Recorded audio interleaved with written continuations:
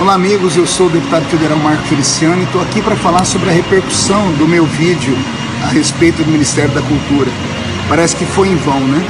Mas eu deixei o meu protesto eu mandei um recado não para todos os artistas, mas para aqueles artistas que acharam que a transformação do Ministério da Cultura em secretaria era uma coisa que não deveria acontecer. Num país onde as pessoas estão doentes, onde as pessoas estão passando fome, onde as pessoas estão desempregadas, meia dúzia de artistas que recebem fortunas do Ministério da Cultura vão fazer os seus protestos das maneiras mais estranhas. Eu nunca vi esses artistas fazerem um protesto na frente dos hospitais, nunca vi esses artistas fazerem os protestos com as pessoas que estão desempregadas. Kleber Mendonça, aquele que fez o protesto lá em Cannes, é funcionário do governo. O Ministério da Cultura, o ano passado, gastou 1 bilhão e 700 milhões de reais na sua pasta com filmes, com teatro, como esse que eu estou colocando aqui a foto, é dolorido ver, mas você vai ver aí a cena, são pessoas nuas colocando o dedo um no ânus do outro. Isso é a cultura que o Ministério vem patrocinando.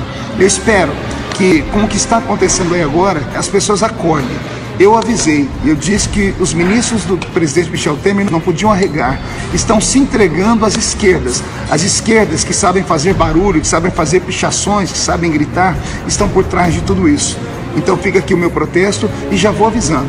O Ministério da Cultura voltando a funcionar na terça-feira, porque é isso que está dizendo a mídia, já estou propondo a CPI do Ministério da Cultura e a CPI da Lei Rouanet. Se estão brigando muito por esse dinheiro, é porque esse dinheiro ele tem feito algumas coisas que estão além da cultura.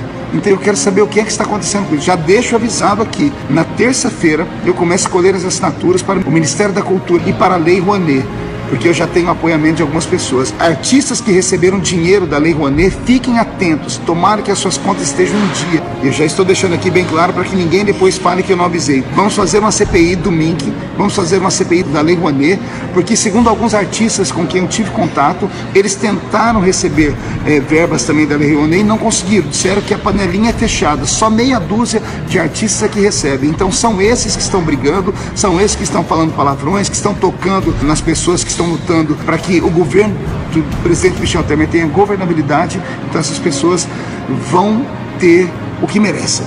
Um abraço.